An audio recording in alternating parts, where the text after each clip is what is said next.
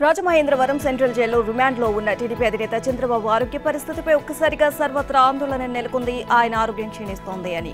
ఒక్క నెలలో ఐదు కిలోల బరువు తగ్గిపోయారు అన్న సమాచారం శుక్రవారం వైరల్ కావడంతో కుటుంబ సభ్యులు టీడీపీ శ్రేణులు కలవరానికి గురయ్యారు. జగన్ సర్కార్ తీరుపై విరుచుకుపడ్డారు. బాబు ఆరోగ్యం భేషుగ్గా ఉంది అన్న అధికార పార్టీ అంతా బాగానే ఉందని జైలు అధికారులతో చెప్పించే ప్రయత్నం చేసింది.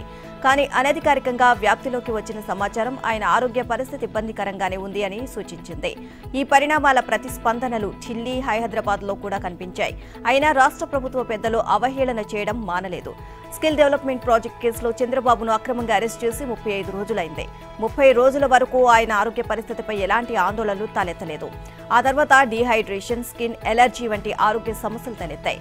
ఇప్పుడు ఆయన ఆరోగ్యంపై టీడీపీ వర్గాలు కుటుంబ సభ్యులు ఆందోళన వ్యక్తం చేస్తున్నారు. జాతీయ స్థాయిలో దీనిపై చర్చ జరుగుతోంది. ఏసీ ఇవ్వడానికి అత్తగారిల్లా అని ప్రభుత్వ పెద్దలు వెకిలిగా మాట్లాడుతున్నారు. కానీ ఇప్పటిదాకా చంద్రబాబు ఏసీ సదుపాయం కావాలని కోర్టును కోరనే లేదు. కేసును కొట్టివేయాలని వేలివ్వాలని మాత్రమే. అది మెరిట్స్ ఆధారంగా వాదనలు వినిపిస్తున్నారు. అయినప్పటికీ ఆయన ఆరోగ్య పరిస్థితిపై ప్రభుత్వ పెద్దలు అవహేళనగా మాట్లాడుతుండడం విస్మయం కలిగిస్తోంది. చంద్రబాబు వ్యక్తిగత వైద్యులను పిలిపించి చికిత్స చేయిస్తే తప్పేమిటి అన్నది జనం ప్రశ్న. దీనికోసం కోర్టు నుంచి ప్రత్యేక అనుమతి తీసుకోవాల్సిన అవసరం లేదు. జైలు వైద్య అధికారులు సిఫార్సుతో బయటి వైద్యులను అనుమతించవచ్చు. కానీ చంద్రబాబు ఆరోగ్య పరిస్థితిని వయస్సును పరిగణలోకి తీసుకోకుండా స్కిన్ ఎలర్జీతో ప్రాణాలు పోతాయా అనడమే దారుణం. చంద్రబాబు ప్రాణాలకు ఖండించలేని విధంగా తక్షణ ముప్పు పొంచి ఉందని ఆయన తనయుడు లోకేష్ ఆందోళన వ్యక్తం చేశారు. ఉద్దేశపూర్వకంగా ఆయనకు ప్రమాదం తలపెడుతున్నారు. ఆయన భద్రత తీవ్రమైన రిస్కులో పడింది. చంద్రబాబు విపత్కర పరిస్థితిని ఎదుర్కొంటున్నారు.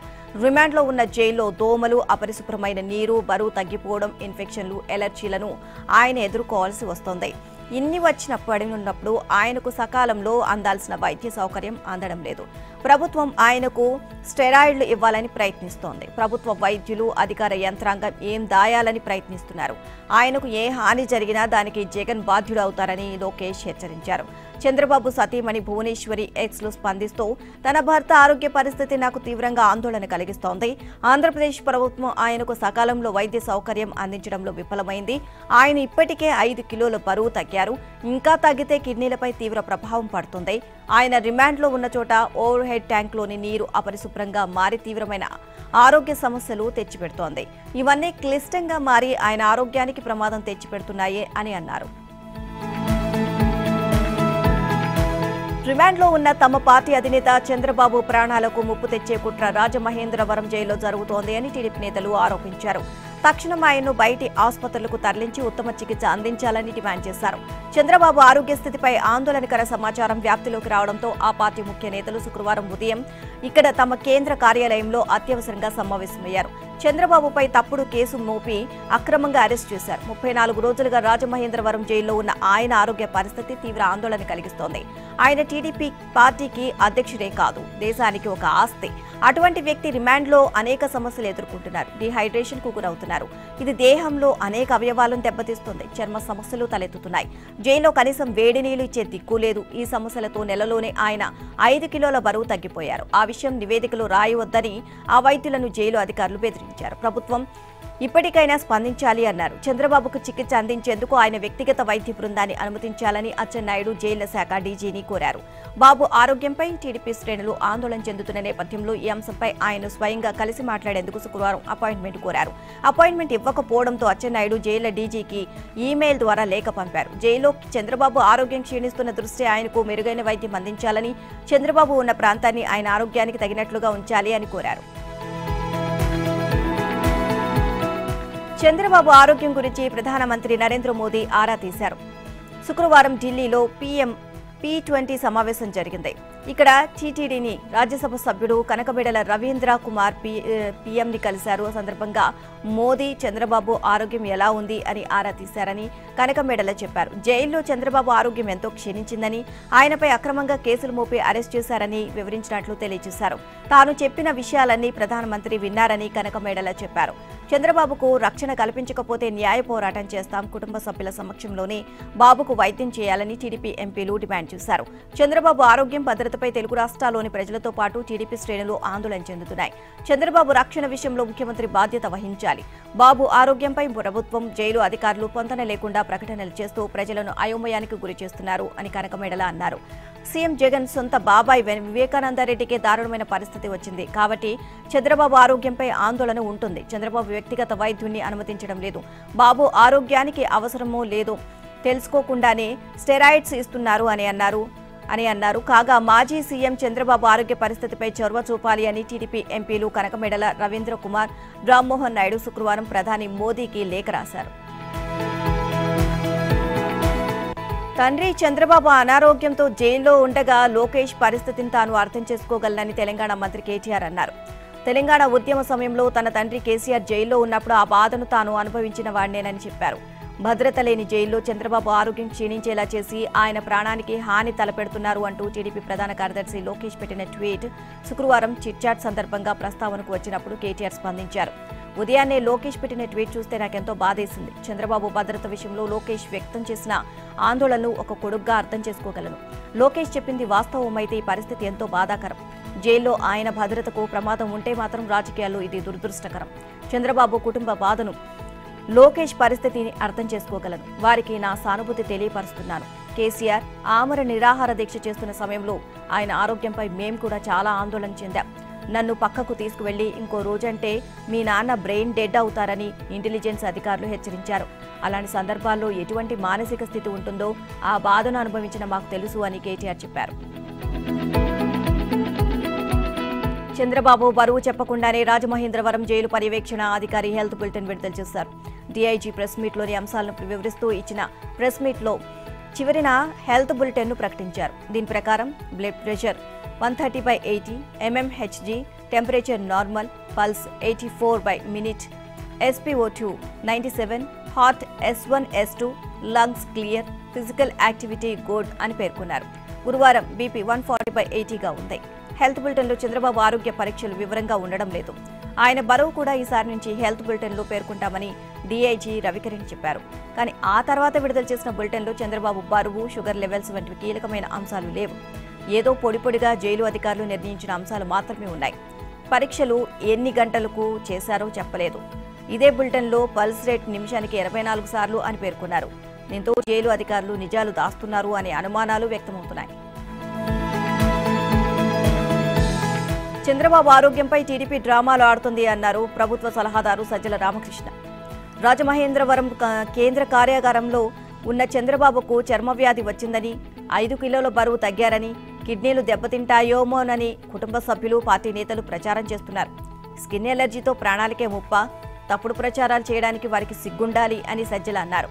చంద్రబాబు బరువు తగ్గారని కుటుంబ సభ్యులు అంటుంటే బరువు పెరిగారని జైలర్ చెప్తున్నారు. కోర్టు అనుమతి ఇవ్వడంతో ఆయనకు భోజనం ఇంటి నుంచే వస్తోంది. ఎలర్జీ వచ్చిందంటే దానిలో ఏమైనా కలుపుతున్నారేమో. అయినా జైల్లో ఆహారాన్ని తనిఖీ చేస్తున్నారు. జైలు అంటే కష్టం ఉంటుంది అని ఆయన గుర్తించాలి. చర్మ వ్యాధులను భరించాలి. నిబ్బరంగా ఉంటేనే ఆయనకు గౌరవం ఉంటుంది. చంద్రబాబు ఆరోగ్య పరిస్థితిపై ప్రజలెవరూ ఆందోళన చెందవద్దు. అమిత్ షాతో భేటీని టీడీపీ తనకు అనుకూలంగా ప్రచారం చేసుకుంటుంది అని సజ్జల ఆరోపించారు. మాజీ సీఎం చంద్రబాబు జైలుకు వెళ్ళాక కిలో బరువు పెరిగారని ఆరోగ్యంగానే ఉన్నారని అన్నారు. ఆయనకు ప్రాణహాని ఉందని అంటున్నారని. ఆ మాటకొస్తే ఆయన కుటుంబ సభ్యులపైనే అనుమానం ఉంది అని అంటున్నారు. చంద్రబాబుకు ఊరట లభించింది. అంగళ్ళు ఘటనకు సంబంధించి అన్నమయ్య జిల్లా ముదివేడు పోలీసులు దాఖలు చేసిన కేసులో ఆయనకు హైకోర్టులో ముందస్తు బెయిల్ మంజూరు చేసింది. ముదివేడు పోలీస్ స్టేషన్ అధికారి సంతృప్తి మేరకు లక్ష విలువ చేసే బాండ్తో రెండు పూచికత్తులు సమర్పించాలని చంద్రబాబును ఆదేశించింది. దర్యాప్తునకు సహకరించాలని సాక్షులను ప్రభావితం చేయరాదని స్పష్టం చేసింది. ఆయన అరెస్ట్ చేసిన వెంటనే బెయిల్పై విడుదల చేయాలని ఎన్హెచ్ఓకు స్పష్టం చేసింది. ఈ మేరకు న్యాయమూర్తి జస్టిస్ కె. సురేష్ రెడ్డి తీర్పు వెలువరించారు. చంద్రబాబు తరపున సీనియర్ న్యాయవాది పూసాని వెంకటేశ్వర్లు పోలీసుల తరపున అదనపు అడ్వకేట్ జనరల్ పొన్నువోలు సుధాకర్ రెడ్డి వాదనలు వినిపించారు. ఈ కేసులో IPC section three naught seven మినహా ఇతర సెక్షన్లు తీవ్రమైనవి కావు. ఫిర్యాదును పరిశీలిస్తే దాడి ఘటనలో చంద్రబాబు నేరుగా పాల్గొన్నట్లు ఆరోపణ లేదు. ఆయన పలుకుబడి ఉన్న వ్యక్తి అనే కారణంతో సాక్షులను ప్రభావితం చేస్తారని దర్యాప్తునకు ఆటంకం కలిగిస్తారని భావించలే. ఇదే కేసులో ఇతర నిందితులకు ముందస్తు బెయిల్ మంజూరు చేశాం. సుప్రీంకోర్టు సైతం ఈ ఉత్తర్వుల్లో జోక్యం చేసుకునేందుకు నిరాకరించింది అని న్యాయమూర్తి తీర్పులో పేర్కొన్నారు. ఫైబర్ నెట్ కేసులో చంద్రబాబును ఈ నెల పద్దెనిమిది తేదీ వరకు అరెస్ట్ చేయొద్దని సుప్రీంకోర్టు ఏపీ ప్రభుత్వాన్ని ఆదేశించింది. స్కిల్ డెవలప్మెంట్ కేసులో తనపై సిఐడి దాఖలు చేసిన ఎఫ్ఐఆర్ను కొట్టివేయాలని దాఖలు చేసిన పిటిషన్తో పాటు ఫైబర్ నెట్ కేసులో ముందస్తు బెయిల్ ఇవ్వాలని చంద్రబాబు దాఖలు చేసిన పిటిషన్పై విచారణ జరిపిన justice Aniruddha Bose justice Bela M త్రివేదితో కూడిన ధర్మాసనం తదుపరి విచారణను మంగళవారానికి వాయిదా వేసింది. అయితే సోమవారం చంద్రబాబును అరెస్ట్ చేసే అవకాశాలు ఉన్నాయని ఆయనపై పీటీ వారెంట్కు ఏసీపీ కోర్టు అనుమతి ఇచ్చిందని ఆయన తరపు సీనియర్ న్యాయవాది సిద్ధార్థ లూత్రా చెప్పడంతో అప్పటి వరకు అరెస్టు ఆపగలరా అని జస్టిస్ బోస్ ఏపీ ప్రభుత్వం సిఐడి తరపు సీనియర్ న్యాయవాది ముకుల్ రోహత్గిని అడిగారు. ఏసీపీ కోర్టు ముందు విచారణ ఉన్నందున చంద్రబాబును అరెస్ట్ చేయకపోవడం తన చేతుల్లో లేదు అని ఆయన బదిలిచ్చారు. కోర్టు ముందు హాజరు కాకుండా స్టే విధించాలని లూత్రా అడగగా ఆయన అభ్యంతరం వ్యక్తం చేశారు. దాంతో అరెస్టు జరగకుండా ఆపాలని జస్టిస్ బోస్ ఆయనకు గట్టిగా సూచించారు. అరెస్టు చేయకూడదని దిగువ కోర్టుకు చెప్పాలని ఆదేశించడంతో రోహత్కి చివరికి అంగీకరించారు. రెండు కేసులకు అవినీతి నిరోధక చట్టంలో సెక్షన్ సెవెంటీన్ ఏతో అంతర్గత సంబంధం ఉన్నందున రెండింటిపైన మంగళవారం విచారణ జరుపుతామని ధర్మాసనం తెలియజేసింది. బుధవారం వరకు అరెస్టు ఉండదని ఏసీపీ కోర్టును సిఐడి అడుగుతుంది అని భావించవచ్చా అని లూత్రా వివరణ కోరగా పద్దెనిమిది వరకు విచారణ వాయిదా వేయాలని కోర్టును అడుగుతానని రోహత్కి చివరిలో చెప్పారు.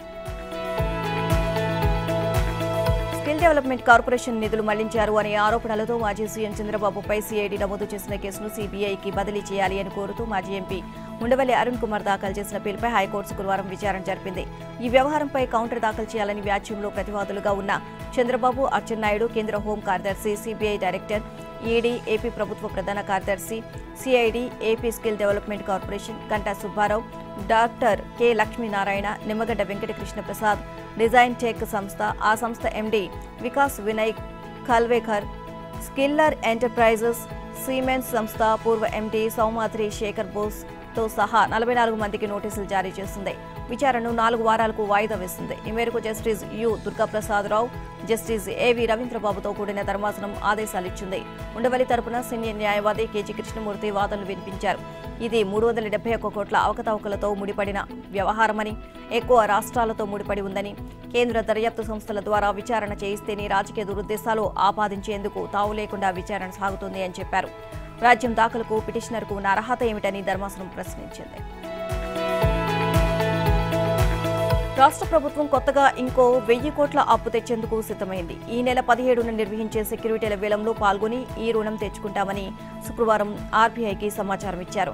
దీంతో ప్రస్తుత ఆర్థిక సంవత్సరంలో రిజర్వ్ బ్యాంకు ద్వారా తెచ్చిన అప్పు నలభై ఐదు వేల తొమ్మిది వందల యాభై కోట్లకు చేరుకుంది. ఇది కాకుండా కేంద్రం అనుమతి లేకుండా కార్పొరేషన్ల ద్వారా ఇరవై రెండు వేల కోట్ల పై చిలుకు అప్పులు తెచ్చారు. మాజీ సీఎం చంద్రబాబు పైనే కాదు ఆయన ప్రభుత్వంలో చేపట్టిన పథకాలపై కూడా సీఎం జగన్ ద్వేషం చూపుతున్నారు. పనిలో పనిగా పేదలకు ముంచేస్తున్నారు. గత ప్రభుత్వంలో నిర్మించిన టిక్కో ఇళ్ళను నాలుగున్నరేళ్ళుగా లబ్ధిదారులకు పంపిణీ చేయకపోవడమే ఇందుకు నిదర్శనం. గురువారం సీఎం జగన్ కాకినాడ జిల్లా సామర్లకోటలో పర్యటించారు.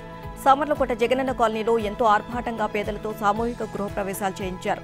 ఇక్కడ రెండు వేల ఇరవై ఒకటిలోని యాభై ఐదు ఎకరాల్లో రెండు వేల నాలుగు వందల నలభై మంది పేదలకు పట్టాలు పంపిణీ చేశారు. ఇల్లు కట్టిస్తామని హామీ ఇచ్చి ఆ తర్వాత మడమ తిప్పేశారు. ప్రస్తుతానికి ఇక్కడ పూర్తయిన ఒక వెయ్యి పంతొమ్మిది ఏళ్ళను మాత్రమే జగన్ పంపిణీ చేశారు. జగన్ వస్తున్నారని అధికారులు హడావిడిగా షీర్వాల్ టెక్నాలజీ ఉపయోగించి అప్పటికప్పుడు నూట యాభై తొమ్మిది ఏళ్ళ నిర్మాణాలను పూర్తి చేయించారు. జగన్ ప్రారంభించిన కాలనీకి అతి సమీపంలోనే సామర్లకోట పెద్దాపురంలో టీడీపీ ప్రభుత్వ హయాంలో నిర్మించిన టిట్కో ఇళ్ళు ఉన్నాయి. సామర్లకోటలో రెండు లేఅవుట్లు కిలోమీటర్ దూరంలో పెద్దాపురం లేఅవుట్ రెండు కిలోమీటర్ల దూరంలో ఉన్నాయి.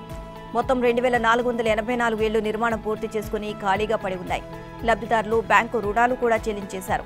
సామర్లకోటకు ముఖ్యమంత్రి జగన్ వచ్చినా టిట్కో ఇళ్ళ గురించి పట్టించుకోలేదు. గృహ ప్రవేశాలకు సిద్ధంగా ఉన్నా అటువైపు కన్నెత్తి కూడా చూడలేదు. లబ్ధిదారులకు పంపిణీ చేయలేదు.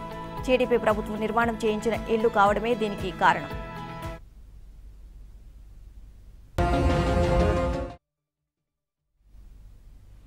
రాష్ట్రంలో ప్రకృతి వనరులను అడ్డగోలుగా దోచుకుంటున్నారు. ఇసుకను ఇష్టారాజ్యంగా అమ్ముకుంటున్నారు. మట్టిని వదలడం లేదు. ఇప్పుడు అత్యంత విలువైన ఖనిజాలు ఉన్న బీచ్ శాండ్ను అదాని అదానీ కంపెనీకి అప్పగించేందుకు జగన్ సర్కార్ అడ్డదారులు వెళ్తుంది. బీచ్ శాండ్ అంటే ఇళ్ళ నిర్మాణానికో రోడ్ల కోసమో వాడుకునే మామూలు ఇసుక కాదు. అత్యంత ఖరీదైన విలువైన అమూల్యమైన ఖనిజాలు ఉన్న ఇసుక.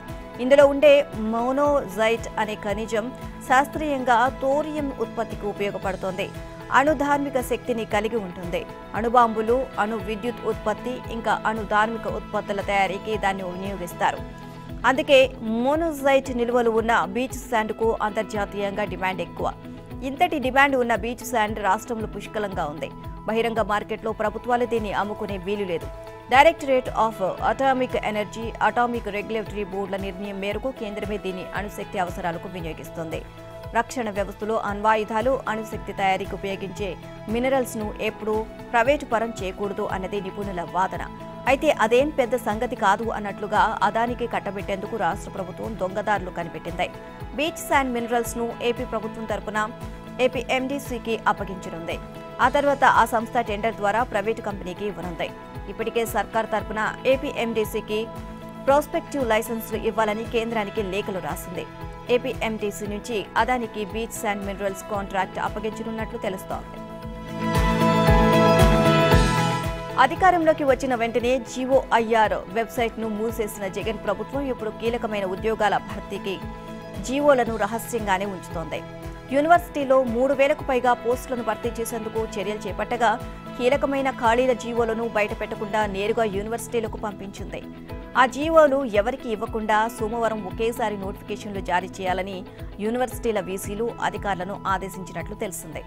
వర్సిటీల్లో పోస్టులు సుదీర్ఘకాలంగా ఖాళీగా ఉన్నాయి. ఎన్నో అడ్డంకుల తర్వాత ఇప్పుడు ఎట్టకేలకు పోస్టుల భర్తీ ప్రక్రియ ప్రారంభమైంది. అంత ప్రాధాన్యత ఉన్న వేళ పోస్టుల భర్తీకి సంబంధించిన జీవోలను ఉన్నత విద్యాశాఖ ఎందుకు రహస్యంగా ఉంచుతోంది? నిరుద్యోగులకు వివరాలు ఎందుకు తెలియకుండా చేస్తుంది అనే దానిపై విద్యాశాఖ వర్గాలు అనుమానాలు తలెత్తుతున్నాయి. మొదటి నుంచి జీవోలను రహస్యంగా ఉంచుతున్న ప్రభుత్వం ఇటీవల పాఠశాల విద్యాశాఖకు సంబంధించిన ముఖ్యమైన జీవోలను సమాచార పౌర సంబంధాల శాఖ ద్వారా మీడియాకు విడుదల చేస్తుంది. జీఈఆర్ జీవోను కూడా ఇలాగే బయటపెట్టింది. మరి యూనివర్సిటీలో పోస్టులకు సంబంధించిన జీవోలను మాత్రం అలా ఎందుకు విడుదల చేయడం లేదు అని నిరుద్యోగులు ప్రశ్నిస్తున్నారు. అయితే ఉద్దేశపూర్వకంగానే న్యాయస్థానాలకు దసరా సెలవులు ప్రారంభమయ్యే సమయంలో నోటిఫికేషన్లు జారీ చేయబోతున్నారు అని కాంట్రాక్టు అధ్యాపకులు అంటున్నారు. జుగుప్సాకరంగా ఉన్న ప్రస్తుత రాజకీయాలు చూస్తుంటే చీదరేస్తుంది అన్నారు. మాజీ ఉపరాష్ట్రపతి ఎం వెంకయ్య నాయుడు. అని ఆవేదన వెలిపించారు. గుంటూరులో జరిగిన డాక్టర్ కాసరనేని సదాశివరావు శత జయంతి ఉత్సవంలో ముఖ్య అతిథిగా పాల్గొన్నారు. కాసరనేని జీవిత విశేషాలతో విద్యావేత్త పాతూరి కోటేశ్వరరావు ముద్రించిన పుస్తకాన్ని ఆవిష్కరించిన అనంతరం వెంకయ్య ప్రసంగించారు. గతంలో రాజకీయ నాయకులు మంచితనం సామర్థ్యం సత్ప్రవర్తన వంటి ఉన్నత ప్రమాణాలు కలిగి ఉండేవారని నేడు కులం మతం నేర స్వభావం డబ్బు రాజమేలుతున్నాయి అని పేర్కొన్నారు. వీటిని ఎట్టి పరిస్థితుల్లో గౌరవించకూడదు అని స్పష్టం చేశారు. ఎదుటి వారిని వేధించి రాజకీయాల్లో ముందుకు వెళ్ళాలని చూసేవారికి తగిన గుణపాఠం చెప్పాలి అన్నారు. నీతి తప్పి అరాచకం అన్యాయం అవినీతి చేస్తున్న వారిని ఏ ఎన్నికల్లోనైనా బటన్ నొక్కి సాగనంపాలి అని పిలుపునిచ్చారు. డాక్టర్ కాసరనేని ఆదర్శవంతమైన జీవితం గడిపారని విద్య వైద్య రాజకీయ రంగాల్లో రాణించడమే కాకుండా కళారంగానికి చేయూతనిచ్చారు అని కొనియాడారు. సేవాభావం కలిగిన విద్యావంతులు యువకులు రాజకీయాల్లోకి రావాలి అని వెంకయ్యనాయుడు పిలుపునిచ్చారు. విశాఖ ఎయిర్పోర్ట్ లాంచ్లో తనపై జరిగిన కోడికత్తి దాడి ఘటనకు సంబంధించి లోతైన విచారణ జరపాలి అన్న అభ్యర్థులను ఎన్ఐఏ కోర్టు తిరస్కరించడాన్ని సవాల్ చేస్తూ సీఎం జగన్ హైకోర్టును ఆశ్రయించారు.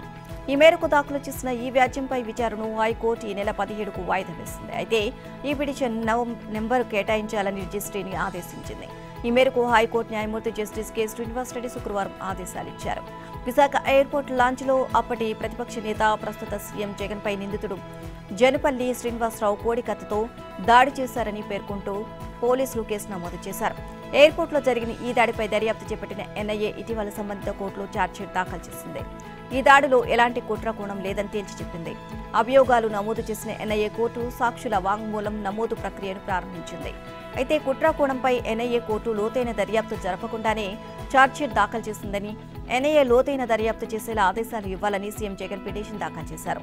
అయితే ఈ పిటిషన్ను ఏడాది జూలై ఇరవై ఐదున ఎన్ఐఏ కోర్టు తోసిపుచ్చింది దీంతో జగన్ హైకోర్టులో క్వాష్ పిటిషన్ దాఖలు చేశారు. ఈ పిటిషన్కు నెంబర్ కేటాయింపుపై రిజిస్ట్రీ అభ్యంతరం లేవనెత్తగా తగిన ఉత్తర్వుల కోసం శుక్రవారం హైకోర్టు న్యాయమూర్తి జస్టిస్ శ్రీనివాస్ రెడ్డి వద్దకు విచారణకు వచ్చింది. కోడికత్తి కేసు విచారణను విశాఖ మూడో అదనపు జిల్లా కోర్టు ఈ నెల ఇరవై ఏడుకు వాయిదా వేసింది.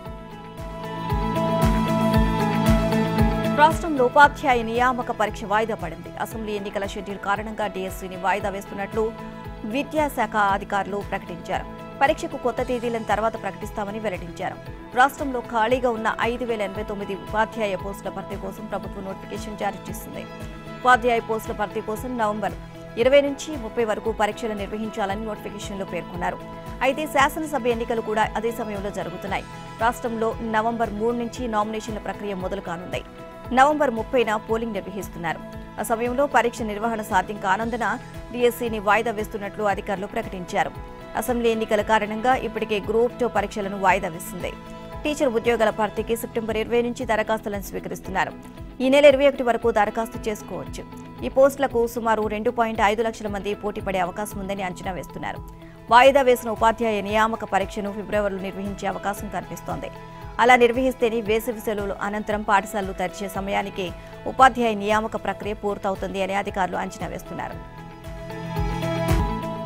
ప్రస్తుత రాష్ట్రంలో జరుగుతున్న ఎన్నికలు ఒక ఎమ్మెల్యేను ఎక్కించేవో మరో ఎమ్మెల్యేను దించేవో కాదని రాష్ట్ర భవిష్యత్తును ఎవరి చేతిలో పెట్టాలో నిర్ణయించే కీలకమైన ఎన్నికలని మంత్రి కేటీఆర్ అన్నారు. రాష్ట్ర భవిష్యత్తును భద్రంగా తీర్చిదిద్దే గొప్ప నాయకుడు కేసీఆర్.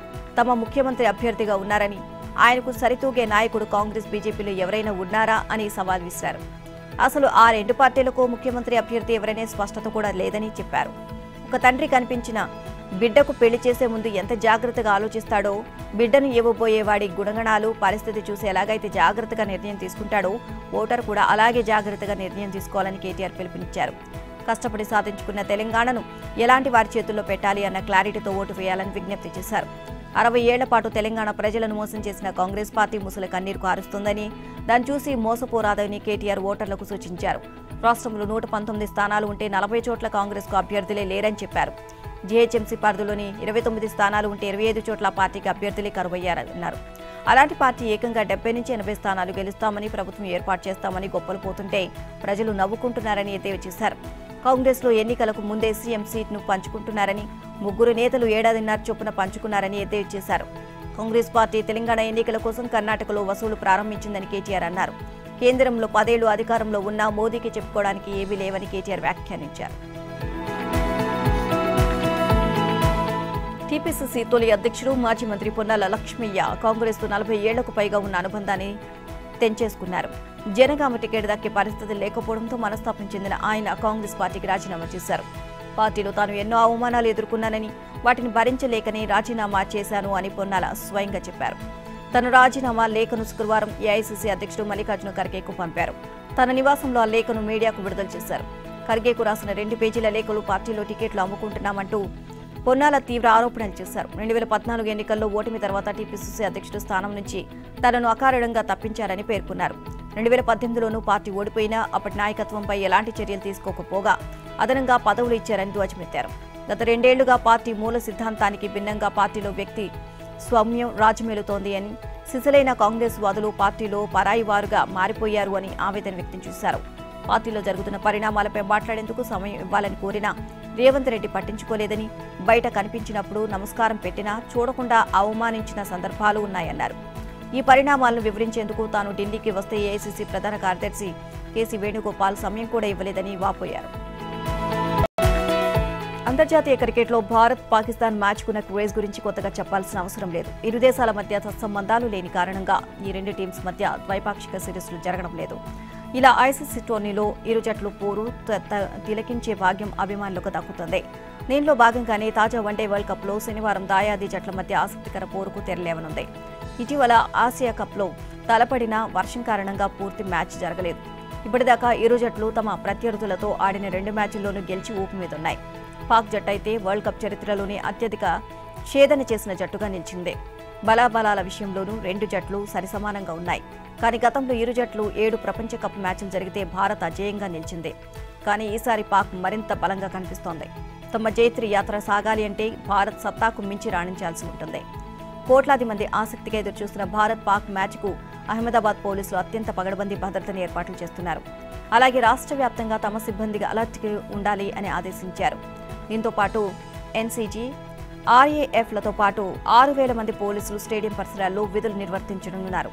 ఈ వారం మొదట్లో నరేంద్ర మోదీ స్టేడియాన్ని పేల్చేస్తామని బెదిరింపు మెయిల్ రాగా పోలీసులు ఓ వ్యక్తిని అరెస్ట్ చేశారు. ఈ ఆసక్తికర పోరులో భారత్ తుది జట్టుపై అందరి దృష్టి నెలకొంది.